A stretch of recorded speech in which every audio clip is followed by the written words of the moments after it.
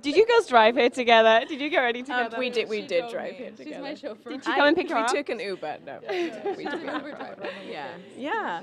I just spoke to Michael backstage, and he said basically you two are his Valentines today. That's so nice. Come on. I haven't on. received my, my chocolates yet. from him. I didn't get any roses. Yeah. I did though. Oh wow. Okay, both mothers of two small daughters. Yeah. How does one get ready in the morning and get this put together? She got her hair done in the car. That's how you get. Did you really? yeah. Yeah, I did. I got my hair done in the car. The only but- reason I got ready quicker than Blake is that my children are jet lagged and we're mm-hmm. still sleeping at nine o'clock. So yeah, it was easier. Yeah.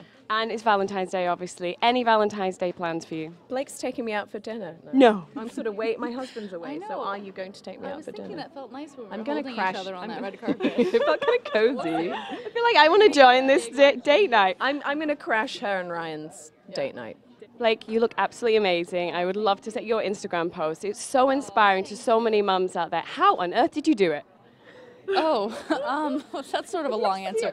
No, I think what's important is that, like, well, this one, she was like just this size, like two months after birth, and I think that that's what's so hard is that like you compare yourself to other moms. It took me 14 months, but I fit in PVC now. so, you're PVC. but it's also okay if you if you don't, if you don't, if that's not a priority or goal of yours, then that's fine too.